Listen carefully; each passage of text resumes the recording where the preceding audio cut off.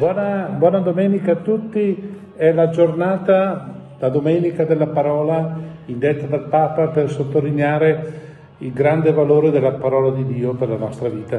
Permettetevi eh, in questo momento un discorso molto serio, eh, è stata una settimana dal punto di vista sociale, politico, finanziario straordinaria sia in Italia che nel mondo. Difatti, avete saputo tutti, avete seguito le vicende di questi giorni, la Nike ha firmato un nuovo modello di calzature, di scarpe da ginnastica, soprattutto per i ragazzi, che sono il sogno di tutti gli adulti, e, e code di adolescenti fino alle 4 del mattino aspettavano nei grandi store uh, il, la possibilità di acquistare queste scarpe. Ecco, eh, la parola di Dio oggi eh, ha una caratteristica molto, molto simpatica per chi viene messa con una certa fretta, ma sono letture molto brevi. In realtà il loro contenuto, ho smesso di fare ironia, è un contenuto molto bello, molto serio.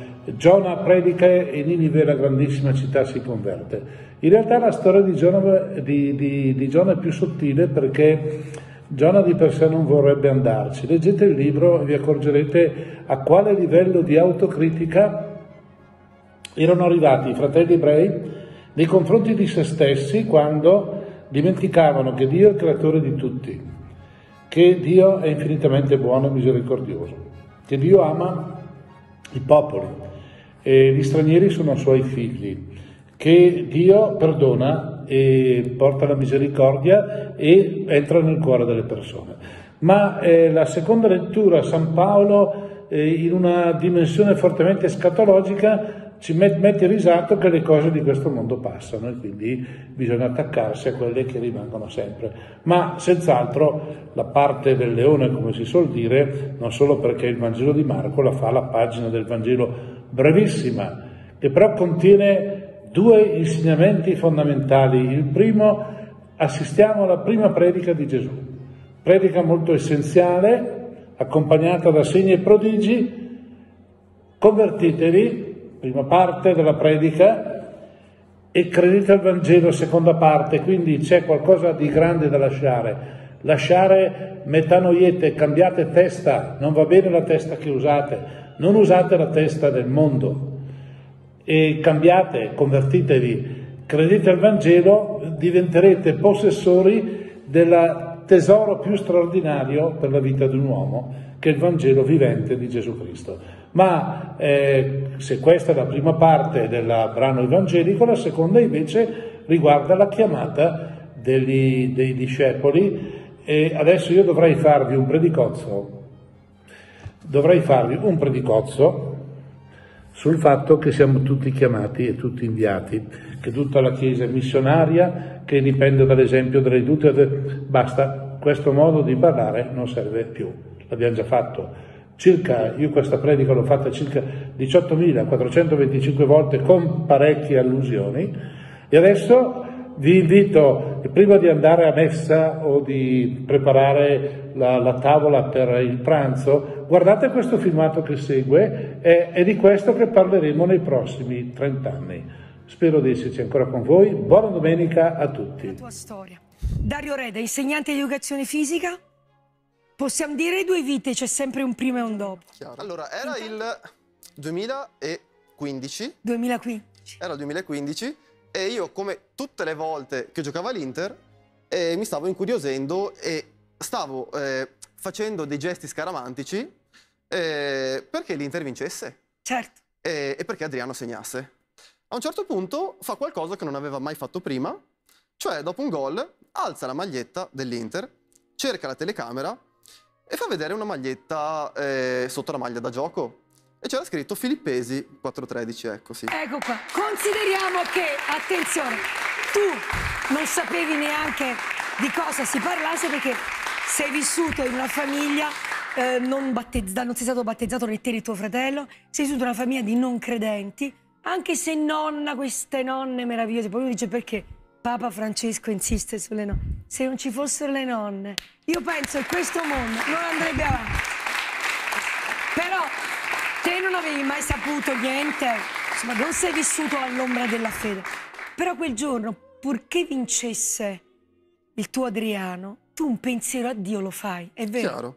Eh, sì, mi sono rivolto a, a un Dio Eh, mh, nel modo in cui magari i calciatori però si rivolgono al cielo quando entrano in campo, si fanno il segno della croce. È quasi un gesto scaramantico. Mm. più che un, un- un gesto di fede. cioè non avevi l'idea di Dio fino a quel momento, Assolutamente no. C'era mia nonna che cercava di inculcalm- Eh. inculca- incul- inculcalmerla in testa, e dicendo dai, preghiamo assieme, diciamo il Padre Nostro, diciamo l'Ave Maria, ma in realtà eh, non mi interessava più di tanto, eh, se non per un secondo fine che più avanti è diventato voglio diventare un calciatore, quindi prego perché Adriano prega. giusto? Ecco, ecco. Che cosa succede così. ad un certo punto? Questo Filippesi ti resta in testa, Mi vero? resta in testa tanto che chiedo alla mia professoressa di religione di spiegarmi il motivo di quella scritta. Mi ha detto sì, è la lettera di San Paolo, cercala sulla Bibbia, il significato di quella frase che Adriano vuole dire. E la trovo eh, nella Bibbia che mi ha dato mia nonna. Mm. Tutto posso in colui che mi dà la forza. Tutto posso in colui che mi dà la forza. E questa roba ti resta nel cuore, vero? Eh sì. E sta lì. Poi dopo... Rimane lì, eh, lavora eh, di nascosto, fino alla quarta superiore, quindi quattro anni dopo, quando incontro una ragazza e, e parlando assieme, e per motivi anche lì molto strani, ehm, mi porta a Dario, vieni a messa con me perché ehm, mi fai compagnia, stiamo assieme e io per stare con lei lo facevo Quindi volentieri. per amore, insomma, un amore bello, di quella che tu dici. E allora è uno, se c'ha la gioia dentro, la vuole condividere. Per. Irene, se non mi sbaglio. Irene, brava. Irene, innamorata di Dio, scout, animatrice in parrocchia, la vita dell'oratorio, insomma, ti trascina. La Assolutamente prima sì. volta che metti piede in chiesa? La prima volta che metto piede in chiesa era il 2008. Perché mi sa che noi ci siamo sbagliati, era 2005 quando tu parli Sì. di Adriano. Io non ti volevo Mi correggere, non non, mi, non mi permetterei mai, No, eh. visto che sono bravissima a sbagliare, non No, mi no. date figo. Però questo perché sennò non capiamo i tempi. E insomma, l'amore può questo. Irene ti ci porta, è una sana inquietudine, ti comincia a scavare. Eh, sì. È vero? All'inizio, appunto, Eh. andavo nella sua parrocchia per vedere Irene, Ecco. e fino ad un giorno in cui mi ha scritto un messaggio e mi ha detto Dario, oggi non serve che vieni perché sono ammalata. E allora la prima cosa che ho pensato è detto, finalmente eh, posso dormire di più Esatto. una domenica mattina. Lì, in quel preciso istante, c'è stato quel qualcosa che ha cambiato la storia, che non mi sono mai spiegato, ma no, eh, va bene così, non serve spiegarsi tutto, no?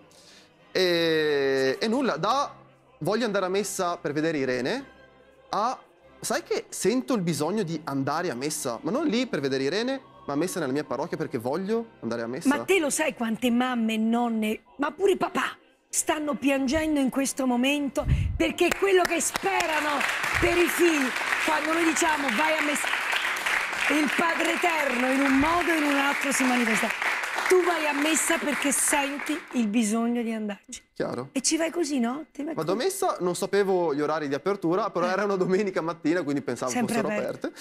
Arrivo quasi finita la, chiesa, la, la messa, mi siedo in fondo e, e ero lì io seduto e guardando Gesù, non, non stavo guardando nessun altro, ascoltando nessun altro.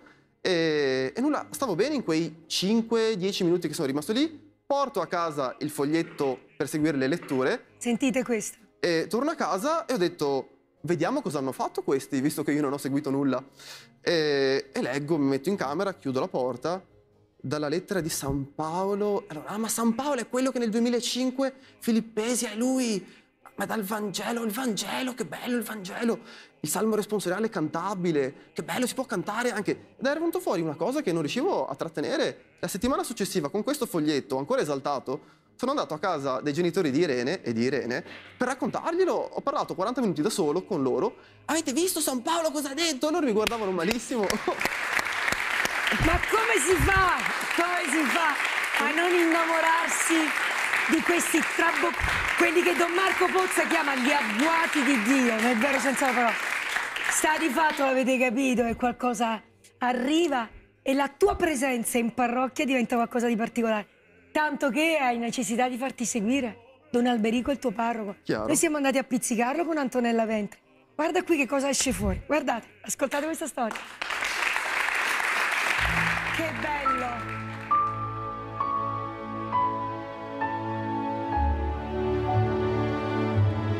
quello che è bello di lui è che eh, ha fatto tutto questo, cioè questo studio, ma anche questa vita, l'ha fatta con grande entusiasmo e ha dato moltissimo a questa comunità con la sua generosità, con il suo entusiasmo e con la sua semplicità. È un episodio che mi è rimasto dopo tanti anni, mi è rimasto nel cuore perché noi abbiamo fatto ogni anno eh, campi scuola eh, un po' ovunque nella nostra alta Italia e uno di questi campi scuola li abbiamo fatto in Val Brembana, eh, sopra Bergamo e naturalmente noi siamo partiti in pullman.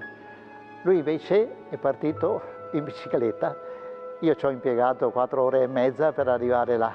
Lui purtroppo ha bucato lungo il percorso e aveva pochi soldi in tasca e si è fermato, è andato in un ristorante, ha chiesto se potevano accoglierlo perché si metteva a disposizione per lavare piatti, per fare qualsiasi cosa, per avere il necessario per mettere a posto la bicicletta e loro, sorpresi e anche meravigliati di questo giovane, lo hanno accolto, gli hanno dato da mangiare, hanno, gli hanno dato anche da dormire, lui ha potuto mettere a posto la bicicletta e ci ha raggiunti, cioè eh, proprio la spontaneità, l'umiltà, ma anche la grande eh, capacità di affrontare le situazioni della vita difficili, faticose, con grande serenità e senso di abbandono alla provvidenza.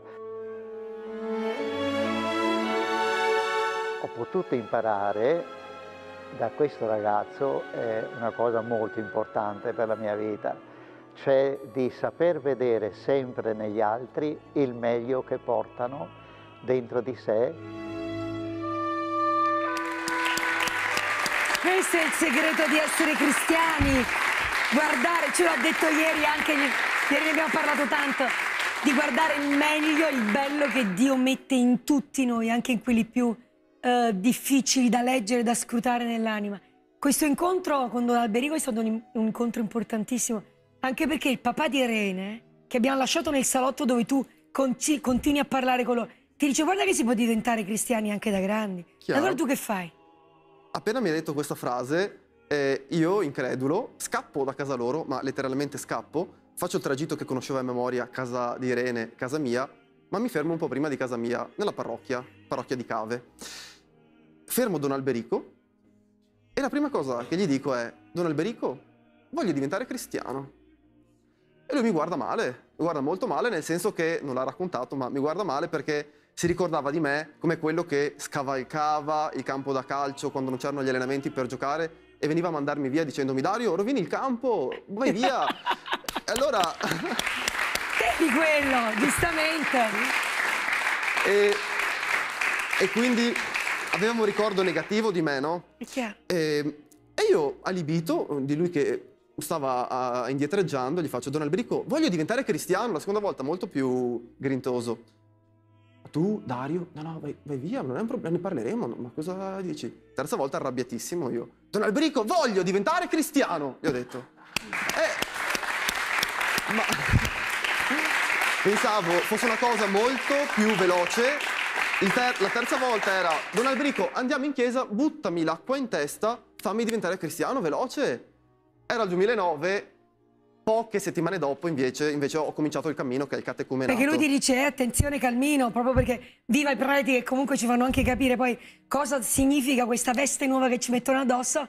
Hai fatto tutto il cammino, hai fatto il catechismo vero perché te non sapevi nulla se non... Assolutamente. Io vorrei...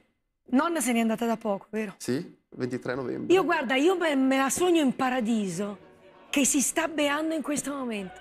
Pensate a quante lacrime questa donna ha tirato fuori per poter vedere te e semmai anche tuo fratello in chiesa. Guardate, questa è la preghiera silenziosa che è più potente di tutto. Il giorno del tuo battesimo cosa succede? Allora, spezzo una lancia eh. a favore di mia nonna prima. Eh. Lei, eh, dopo che io eh, sono diventato cristiano, eh. E dopo che mio fratello, e anticipo un attimo, ha seguito quello che ho fatto io poi, eh, ha detto Dario, Daniele, io ho pregato Dio perché eh, volevo rimanere in vita eh, fino a che eh, non vi avrei visti cristiani. Adesso posso anche morire, questo detto. Quindi eh, Io ti porto a casa. Ora immaginate cosa succede a una famiglia in cui i genitori hanno nasciuto liberi, i figli di credere, mamma comunque nata in una famiglia eh, cattolica ma non praticante, papà di origini libanesi, nato in una famiglia musulmana ma non praticante neanche lui. Guardate cosa succede quando questo terremoto, questo ragazzo vi dice voglio diventare cristiano, come cambia anche la vita di famiglia. Guardate qua, ancora Antonella Vento. I genitori sono veramente un padre e una madre. Per quello significa lasciare liberi i figli di credere, anche di cambiare fede, naturalmente, di cambiare situazione, se il cuore ti dà questa felicità. Fammi capire una cosa, Dario. A sto Dio che ti dà te. Cioè, come fai a decidere un giorno voglio essere cristiano? La lettura, quel passaggio, che cosa ti ha portato dentro? Allora, eh, mi viene in mente Don Alberico, Eh. il giorno dopo il battesimo, era il sabato di Pasqua, il sabato santo, la mattina dopo sono andato nella mia parrocchia da Don Alberico per farmi conoscere della comunità, è desiderio di Certo. Don Alberico questo, e mi ha chiesto, Dario adesso che sei cristiano, come ti senti? Dopo aver rimandato per cinque settimane di fila una risposta a questa domanda perché non sapevo cosa rispondere, Chiaro. alla quinta settimana non potevo più scappare. Dario, dopo cinque settimane dal battesimo, come ti senti da cristiano? Mi ha chiesto. Mi è venuta in mente un'immagine che ha ricordato anche mia mamma, che dopo la sera del battesimo, dopo sabato santo, eh, io non mi ricordavo nulla, mi ricordavo semplicemente che io abbracciavo persone a caso, ero davvero paralizzato Felice. in abbraccio, sorriso paralizzato, così, e saltavo, non riuscivo a star fermo. Allora gli ho detto a Don Alberico, Don Alberico io da cristiano adesso non riesco a star fermo e non riesco a smettere di sorridere. Perché non sto parlando di una cosa bella, sono una cosa bella, sono cristiano e non posso parlarne così. Perché sennò è come se qualcun altro raccontasse la storia al posto mio, gliela, gliela mando io via mail e lui la legge e le parole sarebbero le stesse mie. Ma prima che con le parole, sta, non riuscendo a star fermi e non riuscendo a smettere di sorridere, è così che passi l'essere cristiano. Una cosa bella. E quindi, Don Alberico, io da cristiano non riesco a star fermo. Hai fatto più tu di tante omelie, di tante prediche che a volte sono un po' indigeste. È bastato guardarti e ascoltarti per spiegare tutto quello che forse Papa Francesco ha scritto proprio ieri in questa nuova esortazione tutta destinata ai giovani. Tu non devi smettere di essere testimone di tutto questo. Dal Vangelo secondo Marco. Dopo che Giovanni fu arrestato, Gesù andò nella Galilea proclamando il Vangelo di Dio e diceva, Il tempo è compiuto e il regno di Dio è vicino. Convertitevi e credete nel Vangelo. Passando lungo il mare di Galilea, vide Simone e Andrea, fratello di Simone, mentre gettavano le reti in mare. Erano infatti pescatori. Gesù disse loro, Venite dietro a me, vi farò diventare pescatori di uomini. E subito lasciarono le reti e lo seguirono. Andando un poco oltre, vide Giacomo, figlio di Zebedeo, e Giovanni suo fratello, mentre anch'essi nella barca riparavano le reti. E subito li chiamò. Ed essi lasciarono il loro padre Zebedeo nella barca con i garzoni e andarono dietro a lui. Parola del Signore.